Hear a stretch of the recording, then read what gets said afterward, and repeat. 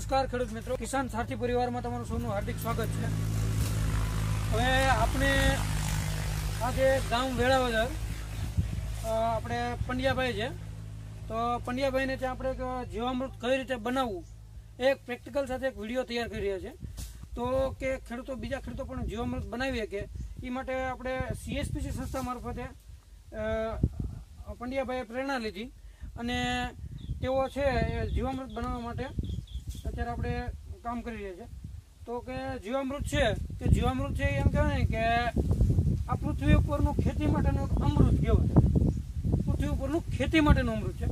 તો હવે જીવામૃત છે અને એમાં બહુ ઓછો ખર્ચો છે. હવે તમે ડીએપી યુરિયા આ બધું વાપરો, તો એ તમારે એક તો પહેલાં બહારથી લાવવું પડશે. એ લાવવા માટેનો વાહન વ્યવહાર ખર્ચ આ બધું થશે. પણ આ જીવામૃત છે, તમારી પાસે એક ગાય સારી હોય, દેશી નસલની, જે ખૂંદવાળી છે, એ ગાયનું છાણ છે, એ ગાયનું મૂત્ર છે ગાયને માતા કીધી અને એનું જે છાણ છે એનાથી આપણે જીવામૃત બનાવી કે છે તો કે આ જે જીવામૃત છે એ કઈ રીતે બનાવવું એ આપણે આજે શીખીએ અને પ્રેક્ટિકલ સાથે જોઈએ. તો કે જીવામૃત બનાવવા માટે છે સૌ પ્રથમ દસ કિલો છાણ જોવે ગાયનું.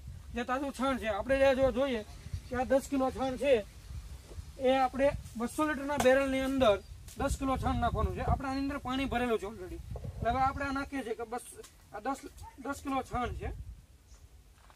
જે આપણે બેરલની અંદર નાખ્યું છે અને લાકડાથી હલાવી અને એને ઓગાળવાનું છે.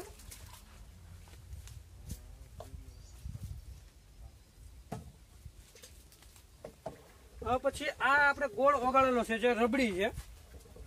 એ બે કિલો રબડી છે, ગોળની રબડી. આ જે ગોળની રબડી છે, એને ઓગાળ નાખી છે, પાણી નાખીને.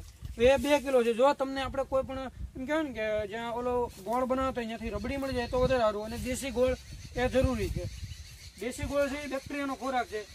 તો આપણે આ બે કિલો દેશી ગોળની રબડી આખી નાખી છે જીવામૃતની અંદર. પછી ગૌમૂત્ર. તો ગૌમૂત્ર એ શું કામ કરે છે? ગૌમૂત્ર જે એ આથો લાવવાનું ખાસ કામ કરે છે. અને એ જે ખાસ કરીને પશુઓ, આપણે એમ કહેવાય ને કે એક પ્રકારનું એ ફૂગનાશક પણ છે. તો હવે એ છે દસ લીટર ગૌમૂત્ર છે. તો આપણે આ દસ લીટર ગૌમૂત્રમાં નાખીએ છીએ જીવામૃતની અંદર. અને આ ઉપરાંત એક મહત્વની વસ્તુ છે કે જે અવાવરો વડલો જે હોય, કે વડલાની અથવા પીપળાની નીચેની બે મુઠ્ઠી માટી હોય. તો આ જે છે એ પીપળા અને વડલાની નીચેની બે મુઠ્ઠી માટી છે. કે એની અંદર લાખો કરોડો બેક્ટેરિયા હોય છે જે જમીનનો ઉપયોગી થાય છે. હવે આ જીવામૃત છે, તમે દરેક પાણી આપો તો વધારે સારું. અથવા તો તમારા કોઈ પણ પાકને મિનિમમ ત્રણ વખત પાવ અને ચોથી વખત તમે ખાલી એકવાર દાંતડી મારશો ને તો એની અંદર ઢગલો તમને અળસિયા જોવા મળશે. અળસિયા છે ને એક બહુ મહત્વનું કામ કરે છે. એક અળસિયું છે કે સાત ફૂટ જમીનમાં ઊંડે નીચે ઊંધી જાય અને ઉપર આવે છે. હવે એના કારણે શું થાય છે કે જ્યારે નીચે જાય છે તો એ એક નવું કણું પડે છે અને ઉપર આવે તો એક પણ નવું કણું પડે છે. હવે અમારા જીવામૃતના ઘણા એક્સપિરિયન્સ પ્રમાણે અમને ખ્યાલ આવ્યો કે જો તમારી વાડીમાં મને આપણે સમસ્યા દરમિયાન જીવામૃત તમે રેગ્યુલર પાતા હોય તમારે એક બે વર્ષ જેવું થયું હોય, તો છે કે દસ, એમ કહેવાય કે દસ ઇંચ વરસાદ થયો હોય તો એમ છતાંય તમારા વાડીમાંથી પાણી બહાર નથી નીકળતું બધું પાણી સુવાઈ જાય છે. એક પ્રકારની તમારી વાડીમાં જાળી પડી જાય અને બધું પાણી નીચે અંદર ઉતરી જાય છે. એટલે જીવામૃતનો બહુ ફાયદો છે. કેમ કે જીવામૃતની કમાણ છે. એ ખેતુનું એક અમૃત કહેવાય ને છે. એટલે ખેડૂત મિત્રો તમે બધા અપનાવો અને હજી આની અંદર આપણે એક કિલો આ ચણાનો લોટ છે આની અંદર. તો આ ચણાનો લોટ છે એક કિલો નાખ્યો છે અંદર. કે જેના એ એક બેક્ટેરિયાનો ખોરાક છે. અને હવે આને અત્યારે શિયાળો છે એટલે દસ દિવસ જેવું લાગે. બનતા. પણ ઉનાળો તમારે પાંચ દિવસની અંદર કમ્પ્લીટ થઈ જાય છે જીવામૃત.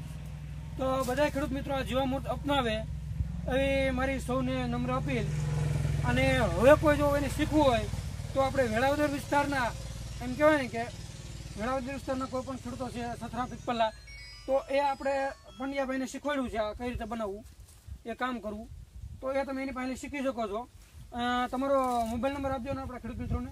નવ્વાણું ચોવીસ નવ્વાણું. નવ્વાણું ચોવીસ નવ્વાણું. પિસ્તાલીસ અઠ્યોતેર. પિસ્તાલીસ અઠ્યોતેર. વિપુલભાઈ નંદરામભાઈ પંડ્યા ગામ વેળાવદર.